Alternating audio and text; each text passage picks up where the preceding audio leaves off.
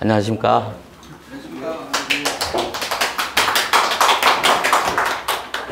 네, 인사드리겠습니다. 저는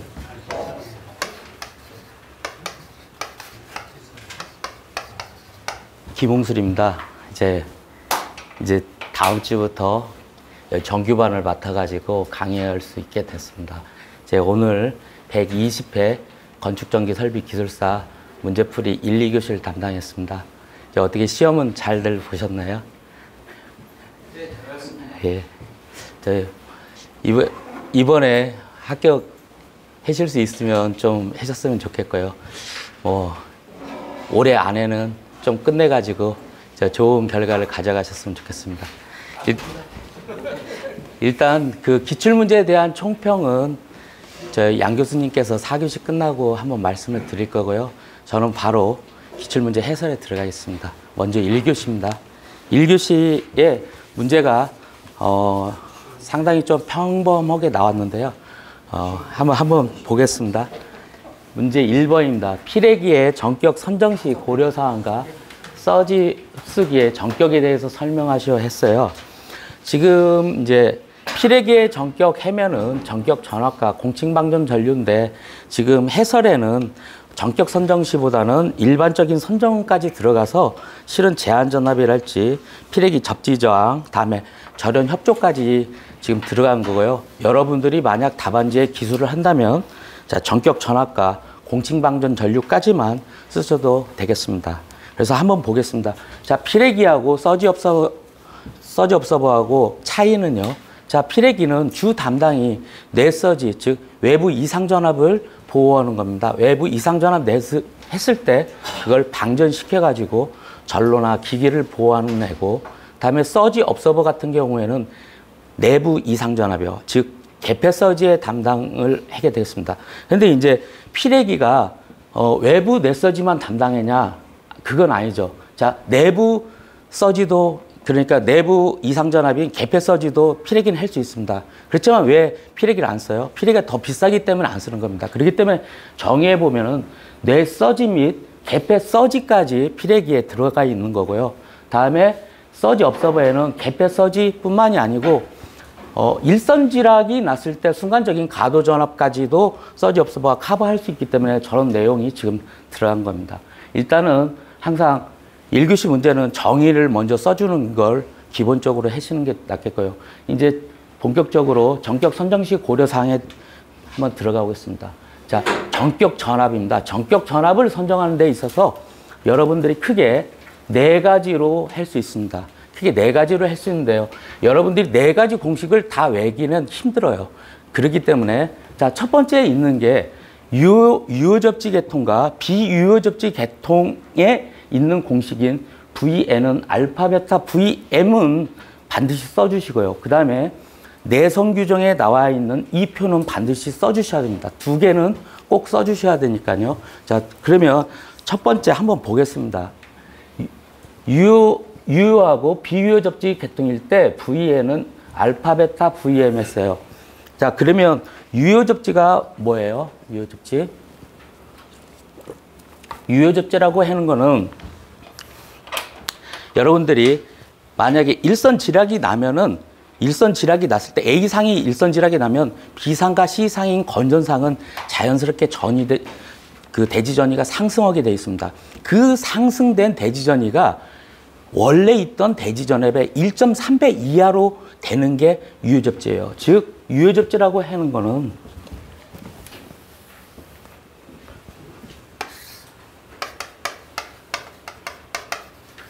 상규 저, 대지 전압 분해 일선 지락 시 건전상 대지 전이가 1.3배 이하냐가 유효접지예요. 만약 1.3배를 넘어서면은 이건 비유효접지가 됩니다.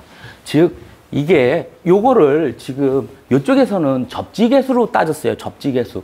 접지계수 봤더니 지락전 최대 선간전압이에요. 위에는 분자는 일선 지락시 건전상 대지산이 대지전이 상승해요. 똑같거든요. 근데 밑에만 상규 대지전압이고 얘는 지락전 최대 선간전압이에요. 자, 대지 전압과 성간 전압을 비교했을 때 성간 전압은 어떻게 돼요? 대지 전압의 y가 됐던 델타가 됐던 루트 3배입니다. 그렇기 때문에 요거를 다시 쓰면은 성간 성간 전압이기 때문에요. 대지 전압 곱하기 루트 3배가 되고요. 우에는 똑같이 되는 거예요. 이렇게 되면은 여기가 1.3을 루트 3으로 나눈 꼴이 돼요. 즉 얘가 뭐냐면은 0.75가 됩니다. 0.75 이렇게 계산하면요. 그렇기 때문에 접지계수에 있는 알파가 즉 이 1.3을 0.75로 변화낸 거 그 차이밖에 없어요. 그래서 요 알파 같은 경우에 이렇게 지금 유효 접지일 때는 75% 이하, 즉 만약 대지 전압이면 1.3배 이하죠. 그 다음에 베타 같은 경우는 여유계수로 해가지고 유효접지일 때는 1.1배, 비유효접지일 때는 1.15배를 곱하게 됐습니다. 그 다음에 VM은 여러분들이 통상 아는 개통의 최고 허용 전압이에요. 그래서 공칭 전압의 1.1분의 1.2예요. 그래서 여러분들 예를 들어서 3.3이면은 3.6kV가 되고요. 다음에 6.6이면 몇이에요? 7.2인가요? 그 다음에 22면요. 24가 되고 25.8 투투나이면 25.8이 되고요. 66이면 72.5죠. 154면 170이고 그다음에 뭐 345, 345 같은 경우는 어떻게 되죠? 345. 345 같은 경우는 362kV가 되죠. 이런 애들을 말을 하는 겁니다. 지금 개통의 최고 허용 전압이요. 그래서 요로, 요 공식으로 만약에 빼면요. 만약에, 어, 154를 한번 빼볼게요. 154를 빼면, 154 같은 경우는 유효접지기 때문에 0.75를 곱하고요. 0.75에, 다음에 지금 베타 같은 경우에 유효 접지가 1.1 정도 되잖아요. 1.1에. 그 다음에 154 VM 같은 경우는 154 곱하기 1.1분의 1.2 이게 이제 170이죠. 요거 계산하면은 몇 나와요? 요거 하면 144가 나옵니다. 이렇게 하면 144kV가 나오기 때문에 이, 요 정도는 하나 좀 알아두시고요. 그 다음에 이제 비유효접지 계통입니다. 자, 우리가 유효접지 있고 비유효접지 있고 그런데 1번 같은 경우에는 그러니까 유효나 비유효나 전부 다 공통적으로 쓰는 거기 때문에 저 공식은 써주시고요. 그 다음에 비유효 접지 같은 경우에는 어떤 게 있어요? 고장 접지랄지 비접지랄지 뭐 소리액터 접지 이런 애들이 비유효 접지의 계통에 속하는데 이런 애들은 V 곱하기 1.1분의 1.4를 곱하면 되겠습니다. 그래서 만약 비유 접지 한번 제가 해봤는데요. 22kV요. 22kV 같은 경우에는 어 1.1분의 1.4를 해면요. 요게 아마 20, 28이 나올 겁니다, 이게. 이게 28인데요. 28, 28에 전격 전압을 선정하면요. 어떤 현상이 생기냐면은 피레기가 28kV를 넘어섰을 때 이상 전압이라고 생각하고 다운 방전시키는 거예요.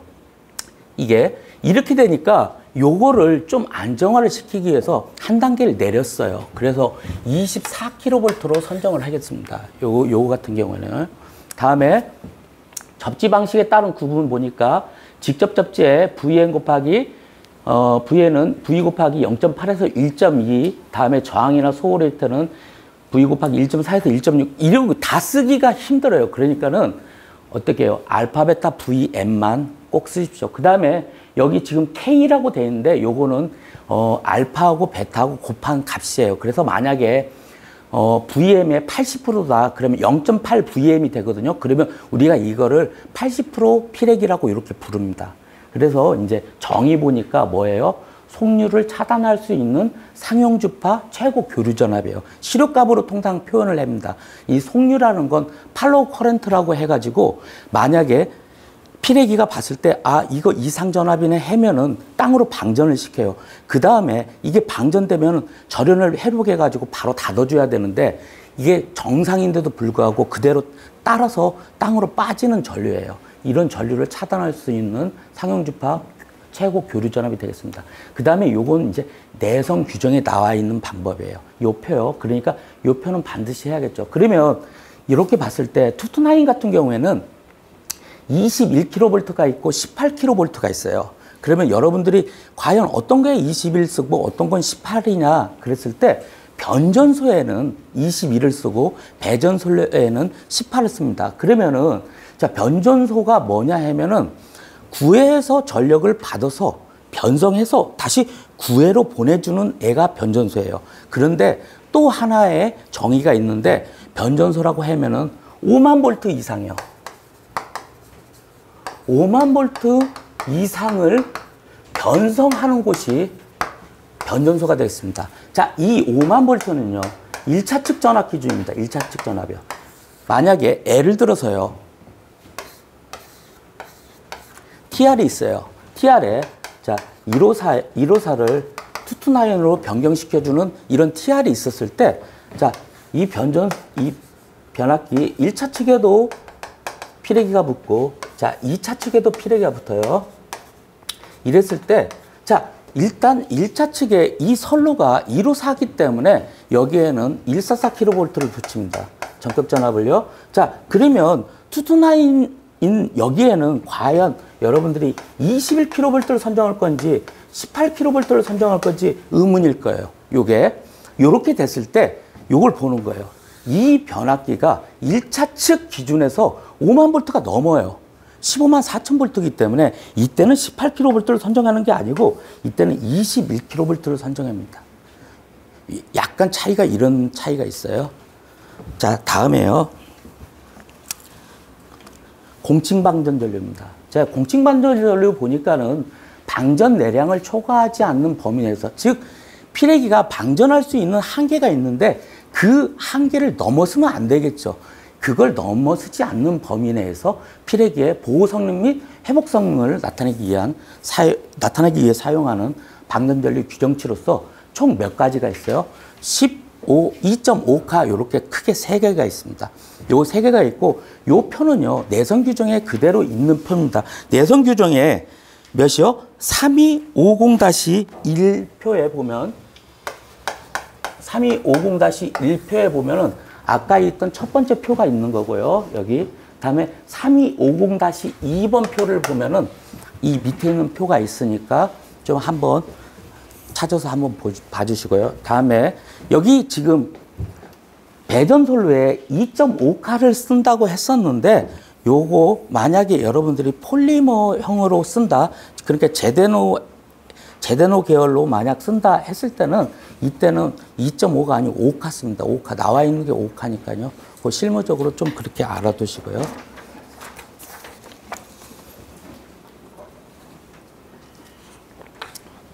그 다음에 이제 제한 전압, 제한 전압일, 요거는 이 제한 전압이나 피레기 접지 저항이랄지 저륜화 쪽 겉도 이런 애들은 실질적으로 전격 선정할 때는 이, 이 문구는 사족이에요. 요거는요. 전격할 때는 요 문제는 사족이고 여러분들이 일반적인 피레기 선정할 때 쓰는 예입니다.